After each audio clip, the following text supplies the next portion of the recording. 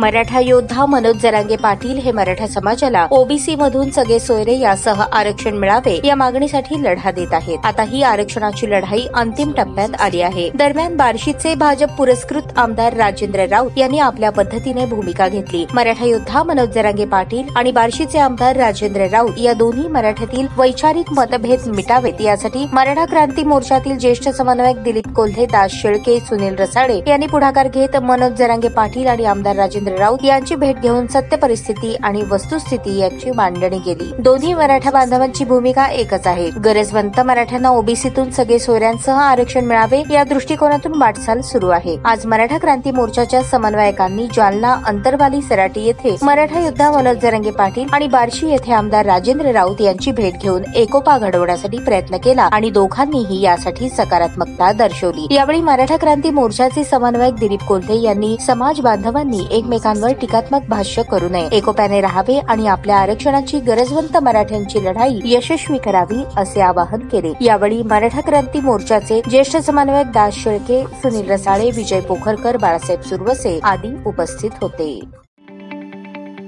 ताज्या बातम्या पाहण्यासाठी प्राईम महाराष्ट्र न्यूज चॅनलला सबस्क्राईब करा.